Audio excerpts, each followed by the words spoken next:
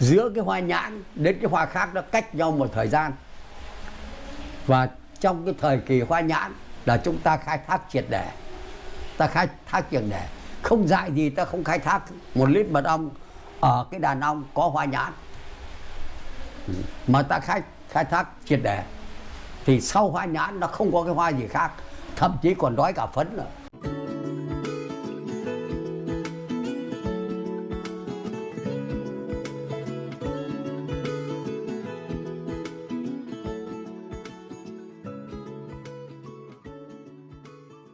Tiếp theo đấy là một cái câu hỏi đến từ à, kênh YouTube có tên là Nhi Nguyễn Văn. Anh ấy có à, hỏi ông về một câu hỏi là quay mật ong hoa nhãn xong, ông rất là đói thì liệu có cần phải cho ong ăn ngay không? Thưa ông. vâng vâng thường như thế này giữa cái hoa nhãn đến cái hoa khác nó cách nhau một thời gian và trong cái thời kỳ hoa nhãn là chúng ta khai thác triệt để ta khai thác triệt để không dại gì ta không khai thác. Một lít mật ong ở cái đàn ong có hoa nhãn. Mà ta khai khai thác triệt để. Thì sau hoa nhãn nó không có cái hoa gì khác. Thậm chí còn đói cả phấn nữa. Nếu không chuyển ong đến mùa hoa, đến cái nguồn hoa phấn, thì dứt khoát là đến, nếu ta chuyển ong đến cái nguồn hoa kế tiếp mà có cả mật, có cả phấn, thì lượng cho ăn không đáng kể.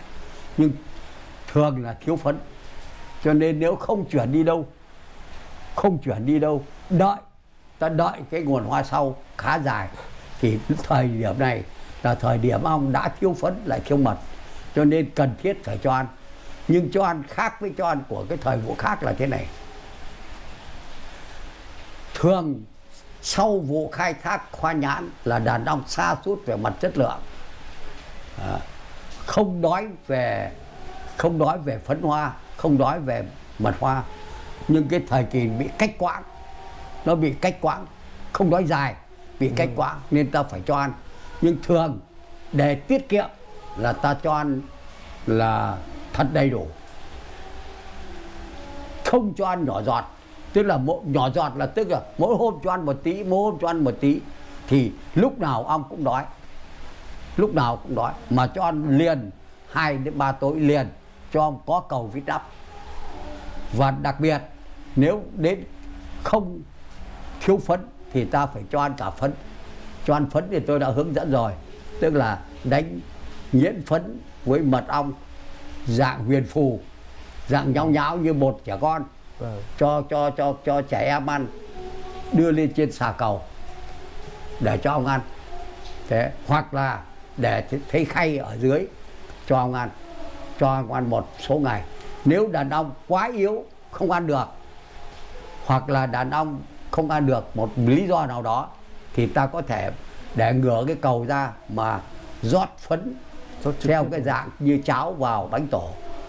Và ta lấy bánh tay lấy ngón tay ta miết cái này vào cho nó vào lỗ tổ một vài lần để cho ong đảm bảo có đủ lượng lượng thức ăn không cách quãng thì đàn ong ta mới duy trì được đừng để đừng để đàn ông xa suốt quá đến mức độ mà yếu kém thì ngay sang vụ mật sau mật hoa rừng hoặc là bạch đàn hoa khác nữa Đấy, thì là nó ong bị xa sút ta không lấy được mật Dạ vâng, à, con cảm ơn thầy. Đấy thì à, bác à, Nhi Nguyễn Văn à, bác có thể là biết thêm về cái thông tin là khi mà mình quay mật xong rồi. Đấy thì nếu mà trường hợp chúng ta có nguồn mới thì chúng ta có thể di rời đàn ong của chúng ta đến nguồn mới. vâng Còn à, nếu mà trường hợp mà khi mà à, các bác à, thu hoạch về cái mật ong hoa nhãn rồi thì các bác có thể là cho ăn bổ sung, ăn với cái à, lượng à, ăn à, đủ, ăn à, thật là đầy đủ thì là đàn ong của mình sẽ phát triển để duy trì cho, cho đến cái nguồn mật à, kế tiếp đúng không ạ? vâng Dạ vâng, con cảm ơn ông. À, vừa rồi thì các bác à, vừa xem hết cái video của thầy Ngô Đắc Thắng à, có kết hợp cùng với kênh YouTube An Thịnh chia sẻ ờ, trong một cái chuỗi video ờ, một series về kỹ thuật nuôi ong cũng như là tác dụng của các cái sản phẩm của ngành ong như là mật ong, phấn hoa, sữa ong chúa. Thì à, nếu các bác nào thấy các cái video này của thầy Ngô Đắc Thắng chia sẻ mà hay thì hãy bấm vào nút đăng ký à, và chia sẻ những cái nội dung này. À, nếu các bác nào mà lần đầu tiên xem kênh và thấy nội dung kênh hay à, thực sự có kiến thức thì đăng ký và chia sẻ nó để nhiều người có thể biết đến kênh YouTube An Thịnh và có rất nhiều thông tin bổ ích ở đây.